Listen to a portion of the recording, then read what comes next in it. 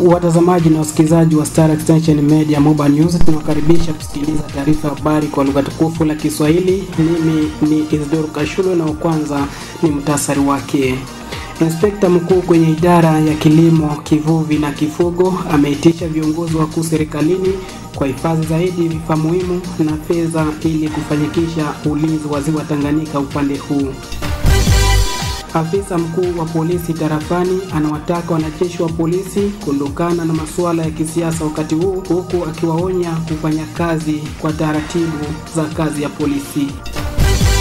Upepo mkali ufahamikanao kama Sabasaba bado unazidi kuvuma kwa kishindo, wakati huu ambapo wanabiashara na abiria, wenyeji wa meli na hata vijakazi wa serikali wanadai kazi zao kuzoroteka. Yana mengine mengi, baki nasi kwenye Star Extension Media Mobile News.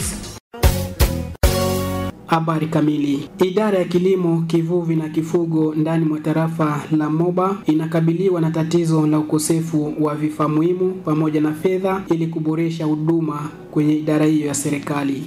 Mkuu wa inspekta kwenye idara hiyo Dedone Ngongo Sangwa amethibitisha hayo, hivyo kuonyesha changamoto anazokumbana nazo wakati huu katika operesheni ya kupiga marufuku kivuvi haramu ndani mwa ziwa Tanganyika. Ngongo Sangwa ameitisha wakuu viongozi serikalini kuwapa hifadhi zaidi ili kuboresha huduma kwenye sekta hizo. Komanda wa force terrestre yani Kapteni Kingongo na magistrat Jedone yani auditeur wa parquet justice militaire ya hapa kwetu Moba walituunga mkono sana kiasi kirefu, muda wa siku nne, ndio sababu tulifika kufanya ile kazi ya kushika ile nyavu. Matatizo kabisa ni kusema ile kundi ya wavuvi hawatupatie ile nyavu kwa rahisi, donc ni bukomvi, vita kali kubwa. Hata siku ya kwanza wafanyakazi wa service agricole wengi waliumizika, wavuva hawataki kubabeba nyavu, hawataki. Wakati tunafanya ile kazi tunakosa ni moyen de transport, moyen de transport hakuna. Wakati tunabeba nyavu tunaiweka fashimo kundi ifo tushughulike si peke, parfois tunakongola pesa ndani ya mifuko yetu na kuleta ile nyavu mpaka niveau ya territoire. Ni sherti serikali ifanye nguvu, sababu wakati bato inatoka Uvira inaleta nyavu kila siku na maservisi ya sekurite kupor inaona nyavu inaingia, hawatusaidii si tutalom ni rai nye ya mo fanye jambo ambalo marehemu Rais Laurent Desire Kabila anasema prenez-vous en charge wakidenonse madepo ya yache ni kwepesi. Mbali na tatizo hilo, operesheni ya kupiga marufuku kivuvi haramu inaonekana kukwama kwa kile inspekta mkuu Ngongo Sangwa amesema wanaomiliki nyavu nyingi isiyokuwa halali, wengi wao ni viongozi wenyewe serikalini, licha ya vijakazi wengi kwenye idara hiyo kugubigwa na kasfa la rushwa linalowafanya waamuru kwa kimagendo kivuvi haramu. Afisa mkuu wa polisi Kanali Emmanuel Chenga anawataka wanajeshi wa polisi kuondokana na masuala ya kisiasa wakati huu, huku akiwaonya kufanya kazi wakishika taratibu za kazi ya polisi. Wito huu amewatolea siku hii ya, ju, ya Jumatatu Julai 22 katika mkutano wa kila mwanzo wa wiki hivyo akiwasota vidole mojawapo wa polisi ambao wamegunduliwa kuingilia kati kwa siri kesi na mkabili kiongozi wa shirika la Amimo Sheldara Ngoi Kiwelewele na Padre Cyprien Kamengwa. Kanali wa polisi Emmanuel Chenga amesema hakuna kitisho dhidi yake kuhusiana na kesi hiyo inawakabili watu wao, kwa amesema anao ushuhuda wa kutosha dhidi ya watumia hao kupanga njama ya kumuua askofu wa kanisa Katoliki dayosezi ya Kalemi Kirungu mwezi Mei uliopita.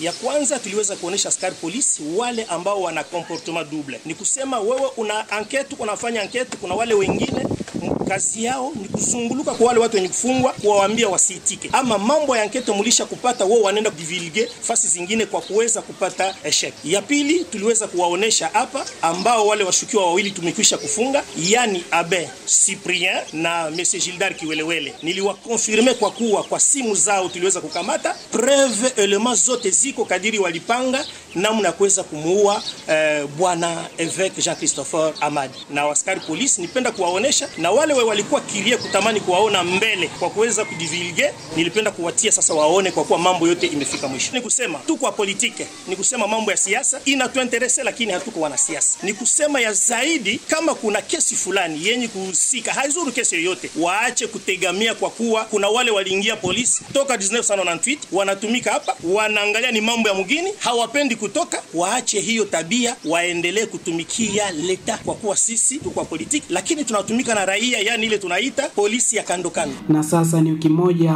watu wao wamekamatwa na kuzuiliwa katika kituo kidogo cha polisi katika mji wa bandari wa Mobapo wakisubiri kusafirishwa kunako mahakama kuu jijini Kalemie. Kufikia hivi sasa tunajaribu kuwatembelea mapadri waliopo, lakini wanajizuiza kusema neno lolote kuhusu kesi hizo. Watu arobaini na nne wameorozeshwa kuuawa na wanamgambo Element kwa kipindi cha mwaka mmoja hivi sasa. Idadi hiyo imetolewa na afisa mkuu wa polisi Emmanuel Chienga na siku hii ya Jumatatu Julai 22 katika mkutano na wanajeshi wa polisi wa kila mwanzo wa wiki. Kanali Chienga amesema kulaani mauaji hayo ambayo yanaongozwa na wanamgambo Element. Wanamgambo ndani mwa tarafa la Moba wanakuwa wakilaumiwa kila kunapokucha kwa kuongoza mauaji, uporaji, ubakaji wa ngono na vitendo vingine vya uhalifu ikiwa ni pamoja na kuwasajili watoto wadogo katika vikundi vya wanamgambo na kuwalazimu watu kuyahama makazi yao. Idadi tunayo leo watu makumi ine na ine ambao wanauawa na wale tunaita element hapa, mnaoita element, sisi tunajua kani wa mai mai, na ifo kuona kifo gani wanaua mtu ni kumkata viungo, ni kumchinja mzima, bitu sawa vile banabeba mali banapora, na hiyo unakuta wako insite na watu fulani, na hiyo inarudisha ni nini nyuma? Ni tarafa, mnarudisha ni tarafa nyuma. Sisi kuna wale watu ambao wamekamatika, na unajua unité commando iliwezaka kufanya operation pale Kalolo, baliweza kufunga bwana Kibiriti na kikundi chake. Nyuma ya pale kuna watu wengine ama sultani fulani ambaye atamtaya jina, aliweza kusensibilize waliobaki pale na aliweza kuleta silaha kwetu ambayo ilikuwa kwa ile kikundi. Lakini uzuni ni kuona kama vile nilitoka kusema, ukakuta eh, mtu fulani anajiita honorable, c'était prévu baturudishie zingine silaha tatu zenye zilikuwa kwa Katenda, me ile kikundi ambayo ilikuya inaturasire kitatuletea zile silaha tatu, balienda leo balipotea. Alafu ni utasema Mungu anatafuta nini? Muna sensibilize kwa amani, muna sensibilize kwa nini? Wale wote wenye wanawawa ni watoto wa mgini, ni wa mama, ni wa baba wa hawachagule. Serikali ni serikali, nadhani muda itafika ambapo hizo silaha zitakuwa tu kuchukuliwa kwa mikono ya wale wanazozishikilia kinyume na sheria. Vikundi hivyo vya wanamgambo vinaelezewa kuungwa ushawishi wa kisiasa ambao wanasiasa hao hawajitokezi. Viongozi serikalini pamoja na asasi za umma wanaendelea kuwatolea mito kujisalimisha wanamgambo hao ili kurejesha hali ya usalama katika eneo hili. Unaendelea kusikiliza taarifa habari kunako Star Extension Media Moba News. Upepo mkali unaofahamika kama sabasaba unazidi kuvuma kwa kishindo katika ziwa Tanganyika. Hali mbaya ya hewa imesitisha vyombo vya usafiri kusafiri tena zaidi ya wiki moja hii leo. Kwa mujibu wa wa meli, hali hiyo inawafanya kugharimu kiasi kikubwa cha fedha. Siku tatu za kufuatia, naoza hao wamekuwa wamezificha meli zao kwenye vitingitingi vya Ntoto kutoka bandari kuu, hivyo kugopesha misiba kama anavyosema wakati nimeojana nao kwenye bandari kuu ya Moba siku ya Jumatatu Julai 22 kuhusu hali mbaya ya hewa.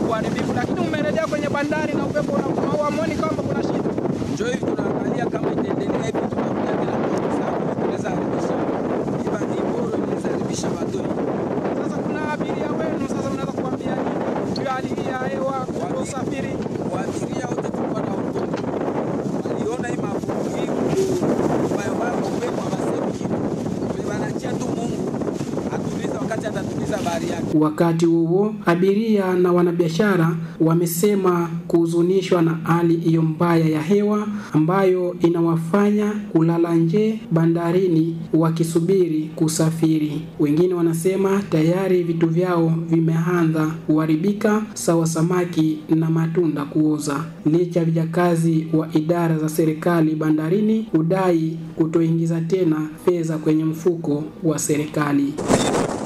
Hatua ya nani ya serikali. Akiamua leo twende, tutaenda. Akiamua leo tusiondoke, kwa sababu tuko chini ya sheria. kulingana na hali ya hewa. Kulingana na hali ya hewa inakuwa na asubuhi na jioni. Na uko tayari muda wote kama hii upepo umetulia, mnaondoka. Hiyo sisi tuko tayari tunasubiria kuona kupangilia joto. Ndio, kwenye abiria umelala siku nyingi hapa. Kwani ya usafiri usafiri wenyewe nao hauhamiki, majibu vinaoza, vilazi vinaoza, amikebuka inakuwa imeshakamata mabutu makarto, hatujui kama tutaishi. Sasa hii hali ya hewa, wewe unatathmini nini? Haikamalizika, uko tayari kuondoka? Ikisha hata leo hata kesho mimi naondoka. Kusimama kwa kazi kwa kweli inatuletea ukosefu wa, wa, wa, wa pato au mapungufu ya kipato ambao ni manke ya reseti. Hali hiyo mbaya ya hewa inatarajiwa kuwa nzuri wiki hii, huku akisubiriwa viongozi husika na usafiri baharini kuruhusu kuingia na kutoka kwa meli ama boti katika ziwa Tanganyika. Na hatimaye viongozi kwenye mashirika za wavuvi wanaendelea kuhamasisha wavuvi wao kuwa makini wakati wanaingia baharini kwa shughuli la kuvua samaki, wakati huu ambapo kunavuma upepo mkubwa baharini. Uhamasishaji huo umekuja baada ya kuwapo na matokeo mabaya ya wavuvi kufariki na wengine kupotea wakati mitumbu zao zinazama kufuatia upepo huo. Katibu mkuu kutoka shirika la wavuvi MPK kwa ufupi, Richard Kaluku amesema wamekwisha kuorozesha vifo kadhaa vya wavuvi tangu umezuka upepo huu na sasa ni karibu wiki nne. Mwaka huu kuna upepo mkubwa sana, na ndio maana matokeo ilikuwa baharini ni kweli ipo. Mfano, tarehe ishirini na mbili kulikuwa mtumbu mmoja ulikuwa anatoka Ntoto unaenda Miboya. Matokeo mlikuwa watu wane, ili tunavyozungumza, mlikufa mtu mmoja akiwa mwanamke na watatu waliokoka wakiwa wanaume, na bado kuna habari zinazoendelea kuhusu na vifo vya watu. Jana jana hii tuliogota tatu Tanga ilikuwa na e, msedeo na iliogotwa tu ziwani, inatoka baharini ikagogotwa huko mchanga kabisa.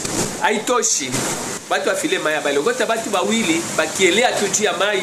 Tukiangalia upande wa, wa, wa kusini make upande wa kujuu, ripoti inakuja nyingi yani kuonyesha kwamba watu wanazama sana kwa matokeo, wengine wanaogotwa, wengine wanakufa. Tunaomba kwa wavuvi ambao ni wakachinga hasa, mwaka huu kuna upepo sana, tuwe waangalifu wa kupanda baharini.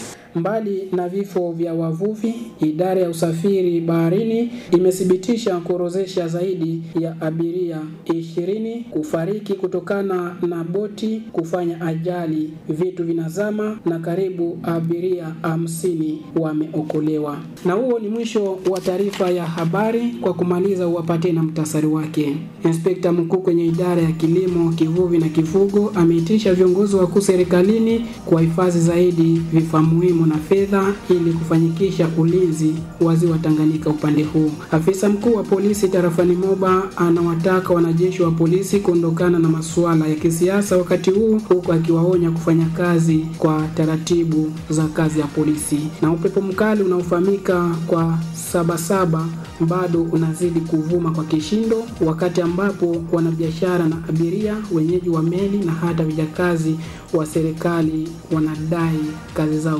kuzoroteka. Aliyewasomea habari hizo ni mimi Isdor Kashulwe, nikiwashukuru kwenye mitambo chifu mkuu Atanazi Mkea na coordinator manager Christian Jorgan na wote waliosikiliza taarifa zetu kupitia Star Extension Media. Kwa heri.